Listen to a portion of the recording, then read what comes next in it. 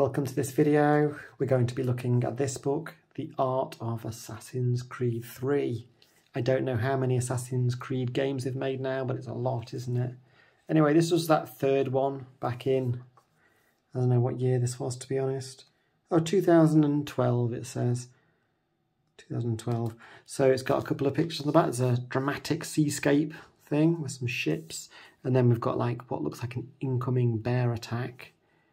Um, so it was published by Titan Books, this book, and it was $24.99 in the UK or $29.95 in the US. There's the ISBN.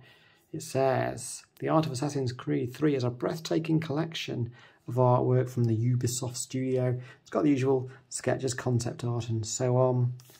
It's in this nice hardcover book. Spine's quite tricky to read, I think, but hold on, it's because of the background image, I think.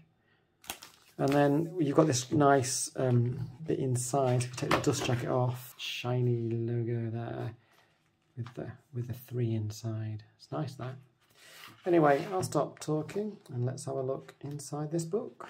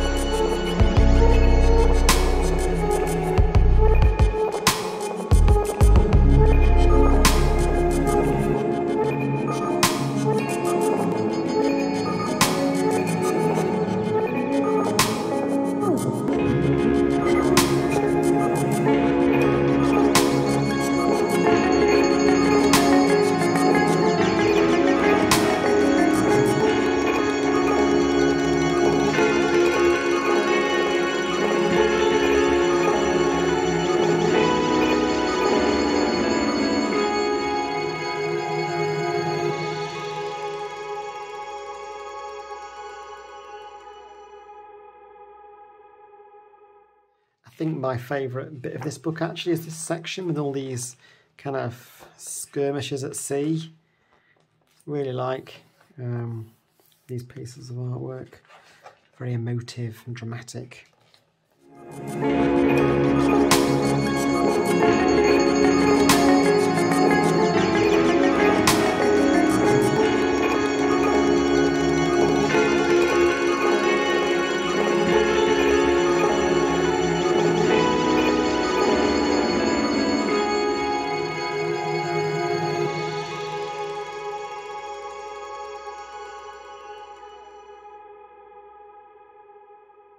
Very nice book.